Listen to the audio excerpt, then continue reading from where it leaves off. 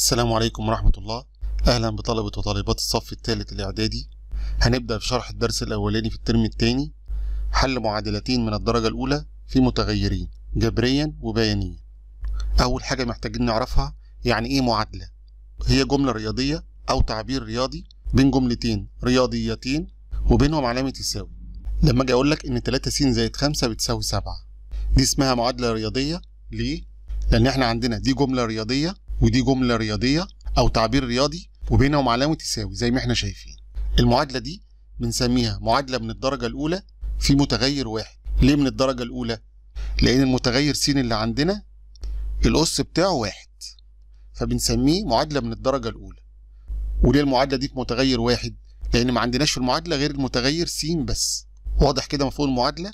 طيب يعني إيه حل المعادلة؟ حل المعادلة يعني أنا محتاج أجيب جميع قيم س اللي بتحقق المعادلة. وقيم س بتنتمي لمجموعة الأعداد الحقيقية. يبقى إحنا كده دلوقتي عندنا معادلة من الدرجة الأولى في متغير واحد اسمه س. المعادلة اللي من الدرجة الأولى في متغيرين بتبقى شكلها إزاي؟ دي معادلة من الدرجة الأولى في متغيرين. ليه؟ زي ما إحنا شايفين عندنا متغيرين س وص وعندنا طرفين بينهم علامة يساوي. المعادلة دي من أنهي درجة؟ خلينا نشوف. المتغير س الأس بتاعه واحد. والمتغير ص الأس بتاعه واحد. يبقى المعادلة دي من الدرجة الأولى. حل المعادلة من الدرجة الأولى اللي في متغيرين معناها إيه؟ معناها إن أنا إن هجيب جميع قيم س وهجيب جميع قيم ص اللي بتحقق المعادلة. وس بتنتمي لح وص بتنتمي لح. مفهوم؟ هيبقى أزواج مرتبة س وص.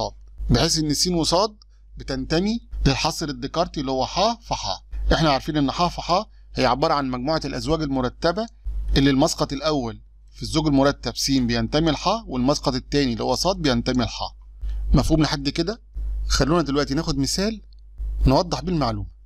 لو أنا عندي مستطيل مديني محيطه بيساوي 20 سم بيقول لي أوجد القيم الممكنة لطوله وعرضه هنفترض إن طول المستطيل وليكن س وعرض المستطيل وليكن ص. إحنا عارفين إن محيط المستطيل بيساوي إيه؟ الطول زائد العرض في 2 يعني طوله س وعرضه ص يبقى محيطه اللي هو مجموع أضلاعه اللي هو س زائد ص زائد س زائد ص اللي هو س زائد ص في 2 هو مديك محيطه بكام؟ بيساوي 20 سم يبقى 20 بتساوي س زائد ص في 2 هقسم المعادلة دي على 2 هتبقى س زائد ص بتساوي 10 كده أنا جبت معادلة لقيم المستطيل اللي عندي. هو دلوقتي بيسألني إيه هي القيم الممكنة لس وص اللي هي طوله وعرضه. هنعمل إيه عشان نجيب القيم؟ أول حاجة تعملها خلي المتغير ص في طرف والمتغير س في طرف.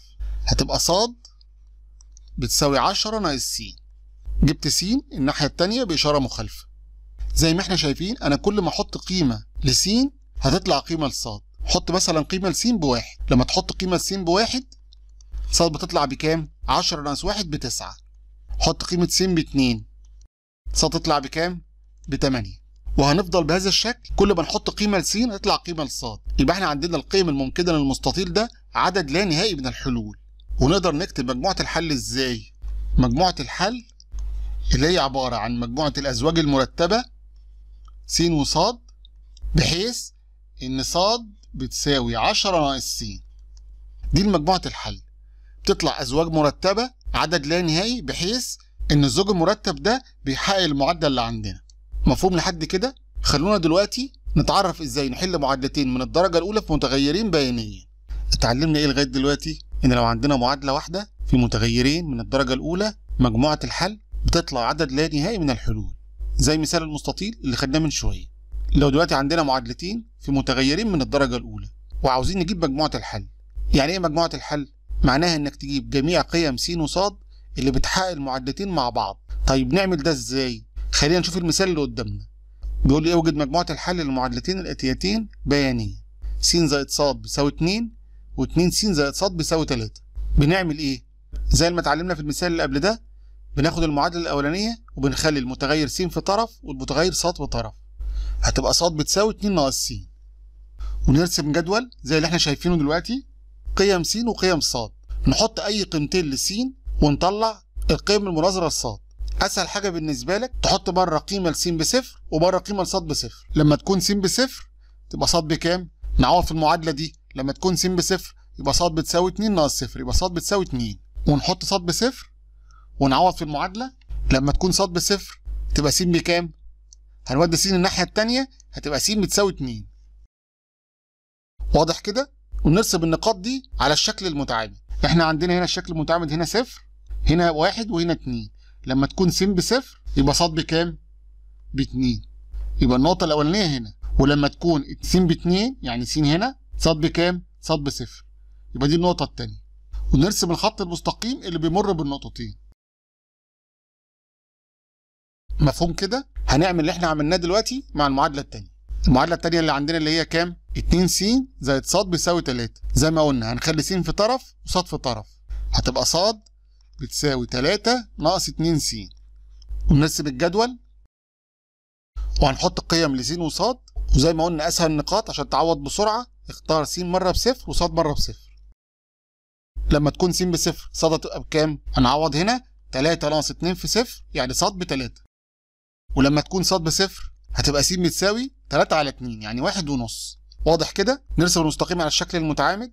لما تكون س بصفر ص ب 3 ولما تكون ص بصفر س بواحد ونص. تقريبا هنا. نوصل المستقيم بين النقطتين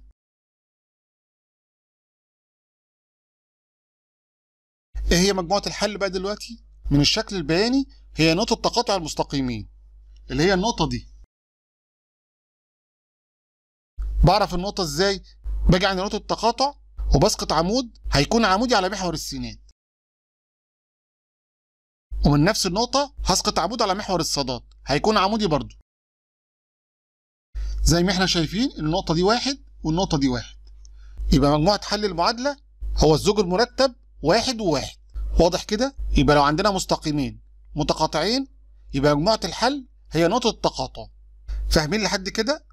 دلوقتي لو أنا عندي مستقيمين متوازيين أو مستقيمين منطبقين. وقال لي أوجد مجموعة الحل للمعادلتين. يا ترى مجموعة الحل بيبقى شكلها عامل إزاي في كل حالة؟ نشوف كده. زي ما إحنا شايفين في الشكل المتعامد الأولاني أنا عندي مستقيمين متوازيين. لو قال لي أوجد مجموعة الحل للمعادلتين زي ما قلنا إيه هي مجموعة الحل؟ هي نقاط تقاطع المستقيمين صح؟ في المستقيمات المتوازية مفيش نقاط تقاطع بينهم. يبقى مجموعة الحل إيه؟ فاي. واضح كده؟ بنكتب ب ح اختصار لمجموعة الحل. في الشكل التاني اللي إحنا شايفينه عندنا مستقيمين منطبقين. زي ما إحنا عارفين مجموعة الحل هي نقاط تقاطع المستقيمين. زي ما إحنا شايفين كل نقطة على المستقيم الأولاني هي نفسها على المستقيم التاني. وبالتالي جميع نقاط المستقيم هي مجموعة حل للمعادلتين. يبقى مجموعة الحل في حالة المستقيمات المنطبقة هي عدد لا نهائي من الحلول. لغاية دلوقتي إحنا اتعلمنا إزاي نحل معادلتين من الدرجة الأولى في متغيرين بيانيا. في حالة إذا كانت المستقيمين متقاطعين أو متوازيين أو منطبقين. تعالوا دلوقتي نشوف إزاي نحل المعادلتين جبريا. المساله اللي قدامنا بيقول لي أوجد مجموعة الحل للمعادلتين الآتيتين جبريا. س زائد 2 ص بيساوي 13 وس ناقص ص بيساوي 4 علشان نجيب مجموعة الحل لأي معادلتين من الدرجة الأولى في متغيرين جبريا عندنا طريقتين. الطريقة الأولى اسمها طريقة التعويض. إيه هي طريقة التعويض؟ إني بستخدم أي من المعادلتين اللي عندي وأجيب متغير بدلالة الآخر وبعوض بيه في المعادلة الثانية فهتطلع معادلة عندي في متغير واحد أقدر أحصل عليه وبعد ما أحصل عليه أجيب المتغير الثاني خلينا نشوف بنعملها إزاي.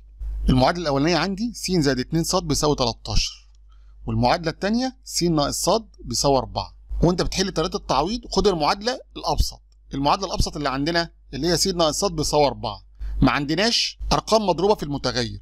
بتبقى بالنسبة لكم سهلة تقدر تعوض بيها بسهولة. هناخد س ناقص ص بيساوي 4 إحنا عندنا س ناقص ص بيساوي 4 هعمل إيه؟ هجيب المتغير بدلاله المتغير الآخر. يعني س بتساوي 4 زائد ص هودي المتغير ص في الطرف الثاني كده بقت عندي س بيساوي 4 زائد ص آخد المعادلة اللي أنا طلعتها دي وأعوض بيها في المعادلة الثانية المعادلة الثانية اللي عندي اللي هي س زائد 2 ص بيساوي 13 هعوض عن س في المعادلة دي. هتبقى 4 زائد ص زائد 2 ص بيساوي 13 عملت إيه؟ عوضت عن دي هنا. واضح؟ اللي هو المقدار ده. بقت كده عندنا معادلة. في متغير واحد هتبقى 3 صاد بتساوي 13 ناقص 4 عملت إيه؟ جمعت الحدين دول ووديت 4 الناحية الثانية يبقى 3 صاد بتساوي 9 ودي منها صاد بتساوي 9 على 3 بيساوي 3 أنا كده جبت قيمة صاد أقدر اعوض في المعادلة دي اللي هي ممكن اسميها واحد هتبقى س بتساوي 4 زائد 3 يبقى بتساوي 7 يبقى أنا كده جبت قيمة صاد وجبت قيمة س يبقى مجموعة الحل للمعادلتين جبريا الزوج المرتب اللي هو س وصاد اللي هو كام؟ 7 و3 وضحت طريقة التعويض؟ خلينا نشوف الطريقة الثانية الطريقة الثانية اسمها طريقة الحذف. إيه هي طريقة الحذف؟ بنخلي احد المتغيرين في المعادلتين معكوس جمعي للآخر في المعادلة الثانية وبنستخدم عملية الجمع أو الطرح نحصل على معادلة جديدة هيبقى فيها قيمة متغير واحد وبعد كده نعوض في أي من المعادلتين اللي عندنا علشان نجيب المتغير الآخر. هنعمل ده إزاي؟ خلينا نشوف. في نفس المعادلة اللي عندنا اللي إحنا حليناها بالتعويض زي ما إحنا شايفين إحنا عندنا هنا س وهنا س وهنا 2 صاد وهنا ناقص صاد. لو أنا ضربت المعادلة الثانية دي في سالب واحد إيه اللي هيحصل؟ هتبقى هنا موجب س وهنا سالب س أقدر أجمع المعادلتين فالمتغير س هيتحذف وبالتالي أقدر أجيب قيمة صاد. هحط المعادلتين بالشكل ده تحت بعض وهسمي المعادلة الأولى معادلة واحد والمعادلة الثانية معادلة اتنين. وزي ما قلنا دلوقتي هضرب المعادلة الثانية في سالب واحد المعادلة الثانية دي هتبقى شكلها إزاي؟ واضح كده؟ هضرب في سالب واحد هتبقى سالب س وسالب واحد في سالب ص بموجب ص وأربعة في سالب واحد سالب أربعة. بالشكل ده أقدر أجمع المعادلتين. المعادلة رقم واحد والمعادلة الجديدة. هجمع المعادلة دي والمعادلة دي. س هتروح مع ناقص س و2 ص وص هتبقى 3 ص و13 ناقص 4 بتدينا 9 يبقى قيمة ص بتساوي 9 على 3 اللي هي 3 مفهوم كده؟ أعوض في أي معادلة من اللي عندي. المعادلة رقم 2 هتبقى س ناقص 3 بيساوي 4 ودي منها س بتساوي 4 زائد 3 بيساوي 7 اذا مجموعة الحل اللي هو الزوج المرتب س وص اللي هو 7 و3 ودي نفس النتيجة اللي إحنا حصلنا عليها بطريقة التعويض. اتفهمت كده؟ عرفنا دلوقتي إزاي نحل معادلتين من الدرجة الأولى في متغيرين جبريا. خلونا دلوقتي ناخد مسائل مقالية عشان نتدرب أكتر على حل المعادلات. المسائل المقالية اللي على الشكل ده بتيجي في الامتحان كتير وبيبقى فيها أفكار فالمهم جدا تتدرب إزاي تحلها. لما تحلوا المسائل من النوعية دي ابدأ اقراها واحدة واحدة وحدد المتغيرات اللي فيها بالراحة وعلى مهلك. خلينا نتعلم إزاي نحل المسائل دي. إذا كان عمري أحمد وخالد الآن 43 سنة وبعد خمس سنوات يكون الفرق بين عمريهما ثلاث سنوات. اوجد عمر كل منهما بعد تسع سنوات. اقرأ المسألة كلها مرة واحدة وبعد كده اقراها جزء جزء. إذا كان عمري أحمد وخالد الآن 43 سنة. يبقى إحنا عندنا متغيرين في المسألة أحمد وخالد. هفرض عمر أحمد الآن س وعمر خالد الآن ص واضح كده؟ يبقى عمر أحمد الآن س سنة وعمر خالد الآن ص سنة. يبقى عمر أحمد الآن وعمر خالد الآن مجموعهم بيساوي كام؟ تمام برافو عليكم. مجموعهم الآن يساوي 43 نكمل باقي المسألة. وبعد خمس سنوات يكون الفرق بين عمريهما ثلاث سنوات. خدوا بالكم من النقطة اللي جاية دي. بعد خمس سنوات المفروض عمر أحمد وعمر خالد هيكون كام؟ إحنا عندنا عمر أحمد الآن س يبقى بعد خمس سنوات هيكون عمره كام؟ س زائد خمسة.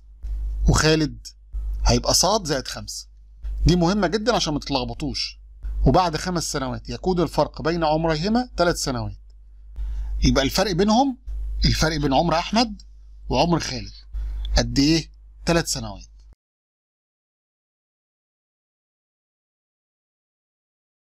ودي المعادلة رقم اتنين.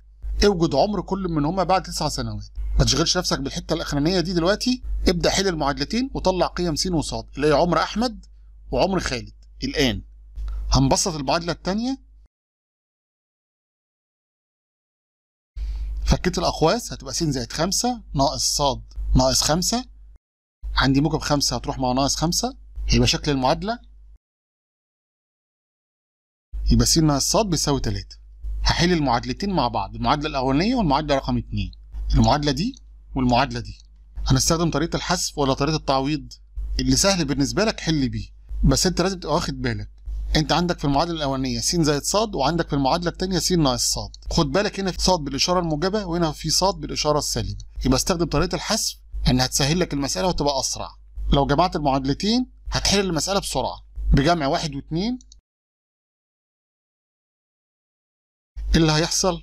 موجب ص هتروح مع سالب ص وس زائد س بيساوي 2 س و43 زائد 3 بيساوي 46 يبقى 2 س بتساوي 46 يبقى س بتساوي 46 على 2 اللي هي 23 سنة. يبقى أنا طلعت عمر أحمد الآن 23 سنة. عمر خالد اللي هو صاد بكام؟ هعوض في أي معادلة من اللي موجودة هعوض في المعادلة الأولانية. هتبقى 23 زائد صاد بتساوي 43 يبقى صاد بتساوي 43 ناقص 23 اللي هي بيساوي 20 سنة. دلوقتي بيقول لي اوجد عمر كل من هما بعد تسع سنوات. يبقى هجمع على عمر أحمد وعمر خالد تسع سنوات. اللي هو بيساوي إيه؟ س زائد تسعة وص زائد تسعة اللي هي 23 زائد تسعة 32 ده عمر أحمد. وعمر خالد 20 زائد 9 اللي هو كام؟ 29 سنة. اتفهمت المسألة؟ بكده يبقى خلصنا شرح الدرس. مهم جدا إن أنتوا تحلوا أسئلة على الدرس. هسيب لكم أسئلة تحلوها. الأسئلة دي هننزلها في المنتدى. وإن شاء الله هنحلها لما نخلص شرح الترم كله. اجتهدوا إن أنتوا تحلوا المسائل دي. ولو عندكم أي استفسارات اكتبوها تحت الفيديو.